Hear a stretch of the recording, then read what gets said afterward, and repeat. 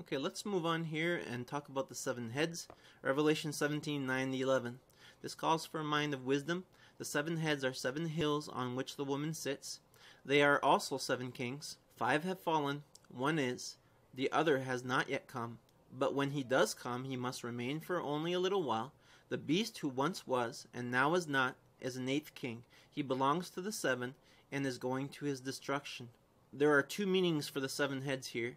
The prostitute is sitting on seven hills. Seven hills are also uh, seven kingdoms. The word kings can also mean kingdoms, so we can take them synonymously.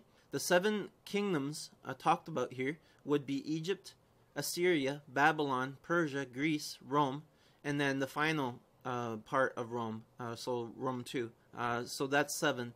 Uh, Rome being Rome 1 and Rome 2 uh, never really disappears, but yet it doesn't really continue either. It's kind of a weird kingdom. At that time, he says, the, the angel says, five have fallen. Five of these kingdoms have fallen, or five of these kings have fallen.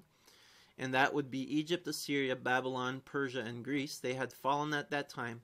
One is, that would be the Roman Empire, was at that time. The other has not yet come. That would be the second Roman Empire has not yet come, the, the, the kingdom that the beast will finally uh, control. And then there's the beast who arrives who is the eighth king. The seventh is to come. It's only going to be there for a while, three and a half years. But then the eighth shows up, which is the Antichrist himself, who takes over that, that kingdom and becomes a kingdom of his own. Although he is not a separate kingdom, but he is the eighth. Uh, Revelation 17, 12 to 14. The ten horns you saw are ten kings who have not yet received the kingdom, but who for one hour will receive authority as kings along with the beast. They have one purpose and will give their power and authority to the beast. They will wage war against the Lamb, but the Lamb will triumph over them, because he is the Lord of lords and King of kings, and with him will be his called, chosen, and faithful followers. The last beast that comes up, the last kingdom of the Antichrist, will have ten horns, and they will be given all power, and they will give over this power to the Antichrist himself. Three of them obviously won't want to do this, and he's going to overthrow them the rest will willingly do that. They they will go along with the beast, and this is the kingdom that the the beast takes over. The Antichrist takes over completely, and he becomes the the single ruler of this the, these ten horns. These kings have not yet received the kingdom, so I don't think we should expect them to be here right away. These kingdoms are going to be set up for the one hour, for the three and a half years at the end there, for that period of time and we can expect that to happen fairly quickly. Although we'll see signs of it happening uh, throughout the ages, we'll get closer and closer to this one government and one religion. We'll, we'll, we'll see the whole world moving towards that direction, but this final ten horns, I think, will, will come up pretty fast right before this time because they're given authority uh, by God at that point and they won't have authority for long, only three and a half years. So they'll come up really fast, and so there's very little point in in in trying to figure out who they are at this at this time in history. The prostitute who has a huge part to play with the the politics in the end, and actually rides this government that comes at the end with the ten kings. Uh, she, she is she is hugely influential at that time. She is influential and the ten kings accept her but they, they hate her all, all at the same time. And and in the end after they use her they throw her off and they burn her it says in revelation 17 16 and 17 the beast and the ten horns you saw will hate the prostitute. They will bring her to ruin and leave her naked. They will eat her flesh and burn her with fire for God has put it into their hearts to accomplish his purpose by agreeing to hand over the beast their royal authority until God's words are fulfilled. So it, it seems by this statement that the prostitute is is playing a part in bringing these ten kings into power. But then when these ten kings hand over the power to the Antichrist, the prostitute is destroyed. And again, let's state it very clearly: the prostitute is not the beast. Uh, and, and once we, we identify who the prostitute is, we can we can scratch her off the list of, of people that could possibly be the, the final Antichrist. Uh, they the final antichrist will not come from the prostitute, and actually will be one of the main reasons the prostitute is is burnt up with fire in the end. This this beast will actually hate that prostitute. All right, we're we're getting near the end, and then we're go we're going to move back into the description of the prostitute and try to figure out who she is. Revelation 17:18. The woman you saw is the great city that rules over the kings of the earth. This is the final verse of Revelation 17, and it tells us that this woman, this prostitute, is actually a city. You will remember that in Revelation 17:9, there's two identities of the seven heads. There's seven kingdoms, and there's also seven hills. Uh, this calls for a mind of wisdom. The seven heads are seven hills on which the woman sits. So this woman is a city also and this city sits on seven hills. There are only two cities uh, that are world renowned that have that much authority um, because this city, whatever this city is, rules over the kings of the earth.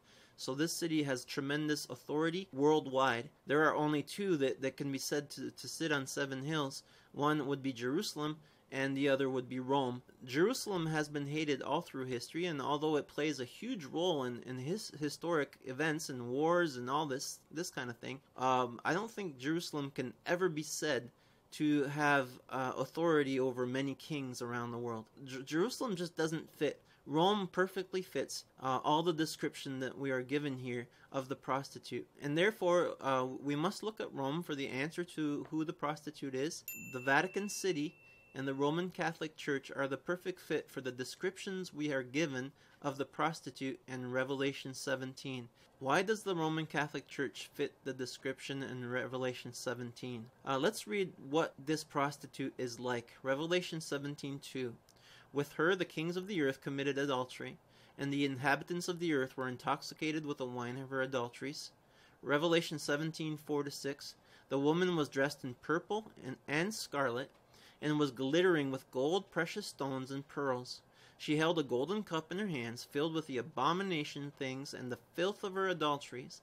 The name written on her forehead was a mystery Babylon the Great, the mother of prostitutes, and the abomination of the earth. I saw that the woman was drunk with the blood of God's holy people, the blood of those who bore testimony to Jesus.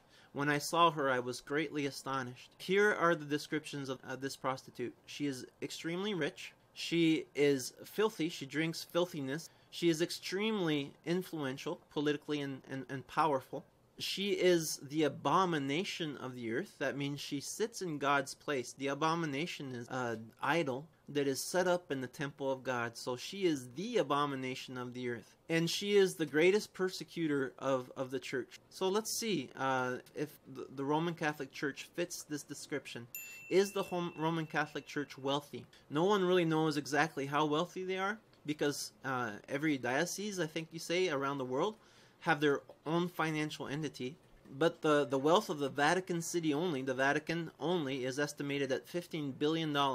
Just to put that in perspective, the wealth of one of the biggest companies in the world, uh, Walmart, is $6.6 billion. The Vatican has its own bank, uh, which with assets of $64 billion, uh, its equity of 764 million and gold reserves of 20 million. One one issue that is very damaging to, to the idea of the Pope is the fact that the some of the popes were so depraved that even people who professed no religion at all were ashamed of them. Historians, even Roman Catholic historians, will even attest to the fact. We don't have to look into the ancient history to find uh, these abuses. Uh, we know very well that the, the child abuse cases coming up against uh, priests all around the world uh, have been the highlights for, for several decades now. Uh, let's see how powerful the Roman Catholic Church is. Vatican City is, is a sovereign state. It's the only city in, in the world that's a sovereign state and recognized by inter- international law.